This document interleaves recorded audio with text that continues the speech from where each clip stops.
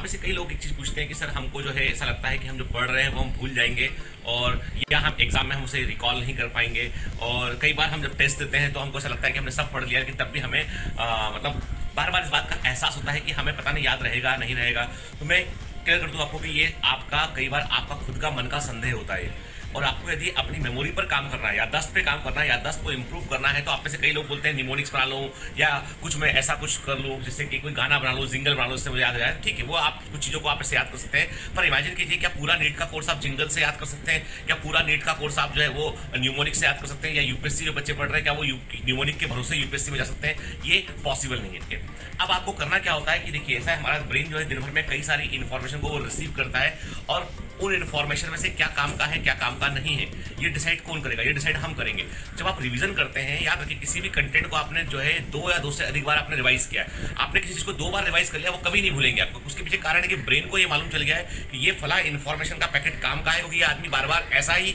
Same type का packet जो बनाता है। हमारी मेमोरी जो है, वो बेसिकली हमारे सेल्स के लेवल पर स्टोर होती है। हमारी मेमोरी वास्तव में केमिकल पैकेट्स के रूप में होती है। यदि हम बायोलॉजी को समझे तो हम पाएँगे कि there some certain chemical packet जो इन्फॉर्मेशन को रिटर्न किए और वो पर्टिकुलर सीक्वेंस जैसे कंप्यूटर की लैंग्वेज होती है one zero one zero binary language बोलते हैं। वैसे हमारे ब्रेन में होता है देर सर्टन केमिकल पैकेट जो ब्रेन में स्टोर होते हैं और वो वो फिर कम, जो है वो, उनको आप तैयार करते हैं। यानी जब आप रोड पर निकल रहे होते हैं तो आप पचास लोगों को देखते हैं, आप पचास तरह के लोगों को देखते हैं, कि सबके चेहरे थोड़ा याद होते हैं। लेकिन कोई एक व्यक्ति जो है, जो उसने आपसे पता पूछा है, या कोई एक व्यक्ति जिसको आप जानते हैं, पहले कभी देखा होगा आपने वो देखिए आप बोलेंगे हाँ ये अक्सर घूमता है यहाँ पर। तो आप,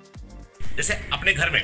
मान लीजिए मैं घर में मुझे कार की चाबी ढूंढनी है और कार की चाबी मेरा इतना बड़ा घर घर में चाबी मैंने कहीं कार जो कार की मैंने मेरी कार कीज मैंने कहीं पटक दिया है तो घर में और मैं ढूंढ रहा हूँ मुझे नहीं मिल रहा मुझे तुरंत इमीडिएटली कहीं जाना है और मुझे वो कार की चाबी नहीं मिल रही है तो इसका मतलब ये नहीं कि कार की चाबी प्रेजेंट नहीं थी इसका मतलब ये नहीं कि कार की चाबी घर में नहीं है घर में ही है कार की चाबी लेकिन ज़रूरत पड़ने पर मुझे मिल नहीं रही है एग्जामिनेशन हॉल में जब टेस्ट देते हो एग्जामिनेशन हॉल में होते हो तो कई बार चीज़ें समय पर याद नहीं आती है वो चाबी घूमने के समान है अब उसका तरीका क्या है बताओ कार की चाबी ना घूमे इमरजेंसी मुझे मिल जाए तरीका क्या है कि मैं कार की चाबी को सहज कर सही जगह पर रखूँ सही जगह पर रखूँ सहज कर तो मुझे मालूम हो गया हाँ यही चाबी मिलेगी तो कहीं जाएगी नहीं कार की ठीक है ना?